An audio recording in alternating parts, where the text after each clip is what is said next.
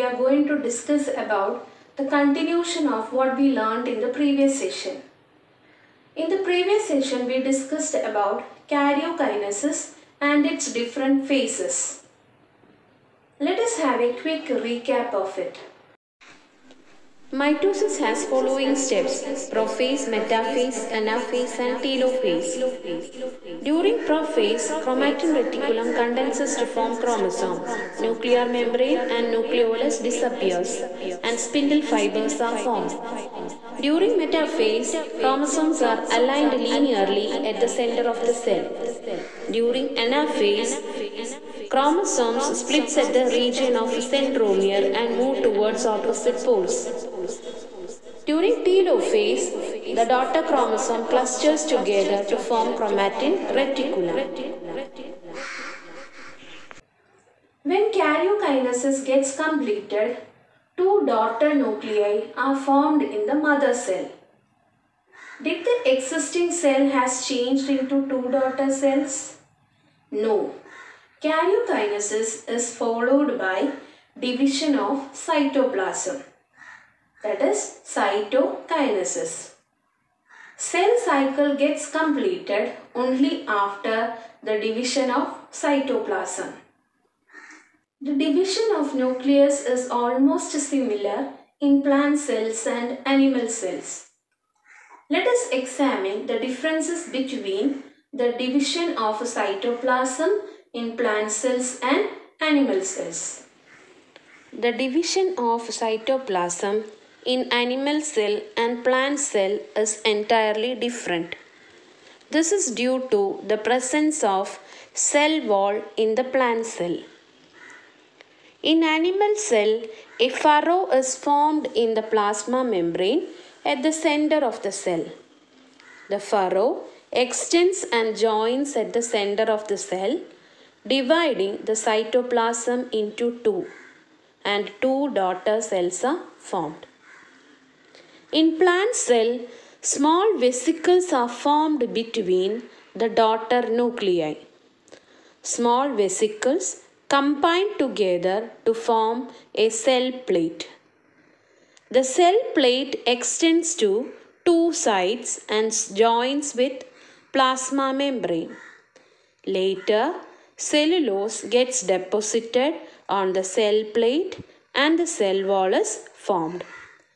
Now the cell division is completed. The daughter cells formed as a result of cell division grow and divide further. Now let us see the characteristics of mitosis. Mitosis is a controlled process. It helps in the growth of the body. It makes repairs of worn out and torn out tissues. There will be no change in the chromosome number even if the cell divides several times. Do you know why there is no change in the chromosome number even if the cell divides several times? It is because before every division, the genetic material gets duplicated. I'll explain once again. Suppose there are two chromosomes in parent cell. During interphase, the genetic material duplicates. So, an exact copy of it is formed and pairs. During anaphase, they get separated and move towards opposite poles. I hope it is clear for you. As I told you earlier, mitosis is a controlled process. A disruption in this controlled process can lead to excessive division of cell. This condition can lead to cancer. Now let us discuss the steps involved in observing the different stages of mitosis in an onion root tip. The aim of the experiment is to observe the different stages of mitosis in onion root tip.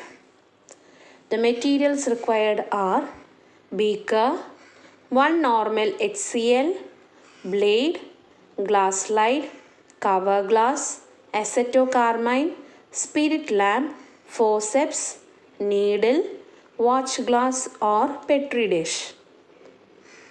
Then we'll move on to procedure.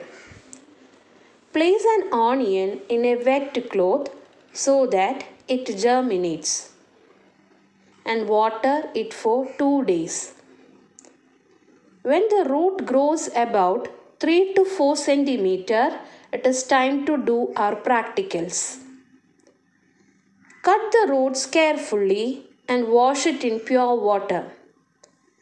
Best time to cut the root is from 8 am to 10 am and place that in a petri dish or watch glass. Transfer the roots into a beaker containing 1 normal HCl. Heat the beaker till the roots get softened. Wash the roots with fresh water for 3 or 4 times. Place the root on a glass slide and cut it into small pieces of about 1 millimeter. Add acetocarmine. Again, heat the glass slide so that the root get easily stained. Place a cover glass over the root specimen and gently press it using a pen or pencil. Remove the excess water or stain using blotting paper. Observe under microscope. Now you can see the images of different stages of mitosis under a microscope using 40x lens and 100x lens.